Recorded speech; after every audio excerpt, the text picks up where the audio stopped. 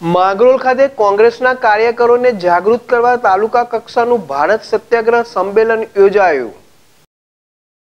માંગરોળ તાલુકા અને શહેર કોંગ્રેસ સમિતિ દ્વારા જય ભારત સત્યાગ્રહ તાલુકા કક્ષાનું સંમેલન યોજવામાં આવ્યું હતું, જેમાં કોંગ્રેસના દિગ્ગજ નેતા રાહુલ ગાંધીને જેલની સજા સંભળાવી સભ્ય પદ પર રદ કરવું, તેમને મળતી ઘર અને સુવિધાઓ પાછી લઈ લેવી, જેનો મતલબ ભારતમાં લોકશાહી ઉપર હુમલો કરી હિટલરશાહી ઊભી કરવામાં આવી.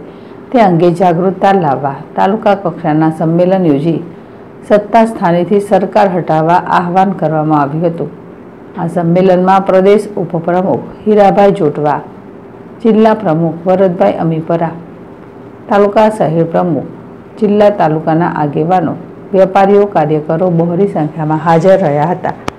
આ સંમેલનમાં રાહુલ ગાંધી પર જે શિક્ષાત્મક પગલાં લેવામાં આવ્યા તેને વખોડી કાઢી. અત્યારની સરકાર હિટલર શાહી વલણ અખત્યાર કરતી હોય તેવો આક્રોશ વ્યક્ત કરવામાં આવ્યો હતો.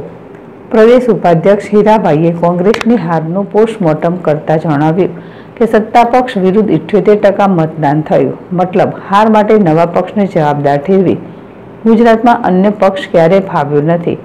તેમ છતાં જીતની પાતળી સરસાઈ બદલ કાર્યકરોની મહેનતના વખાણ કર્યા હતા. અને સોશિયલ મીડિયામાં એક્ટિવ થઈને પોતાના હક માટે અવાજ ઉઠાવવા હાકલ કરી હતી. જીતુ પરમાર જેડેશ ટીવી, માંગરોળ.